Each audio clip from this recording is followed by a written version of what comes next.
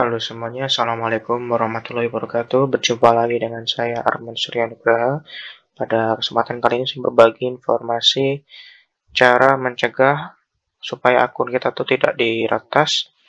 Yang sudah ada di layar Anda saat ini merupakan gambaran ketika akun kita diretas oleh seseorang Biasanya sih mendapatkan notifikasi dari email dari Google bahwa ada perangkat yang masuk dan disertai biasanya lokasinya di mana.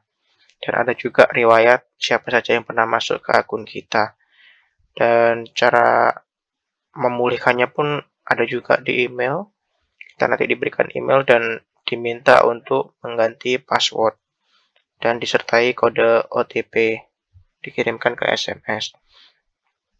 Dan salah satu cara pencegahan supaya akun kita itu tidak diretas dengan cara membuat password yang unik. Nah, kelemahannya di sini kebanyakan orang menggunakan password itu uh, tak nama nama, tanggal lahir dan atau orang yang yang yang spesial seperti nama ayah atau nama ibu.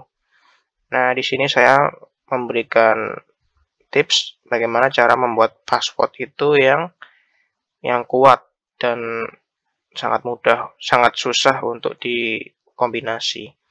Dan di sini sudah ada di website di passwordgenerator.net.id.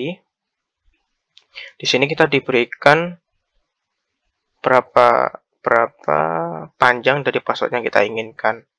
Bisa mulai dari 6 hingga yang paling kuat tak terhingga, bisa sampai 2000-an panjang passwordnya.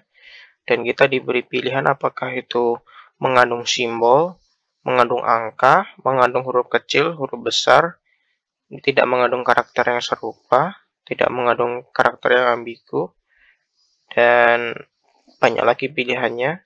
Langsung saja kita pilih buat kata sandi, dan di sini sudah ada kata sandi yang disarankan. Kata sandi ini sangat susah sekali untuk ditebak.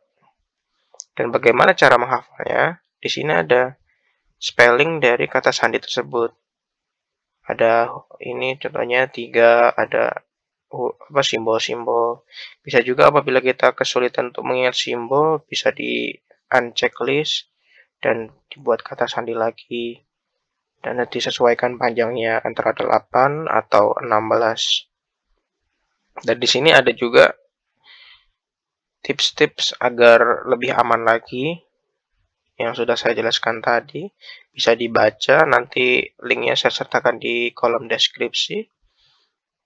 Itu saja yang ingin saya sampaikan. Apabila ada tips-tips lain yang ingin saya bagikan bisa didiskusikan di kolom komentar. Apabila ingin mengikuti video selanjutnya silahkan subscribe Sekian dari saya. Wassalamualaikum warahmatullahi wabarakatuh.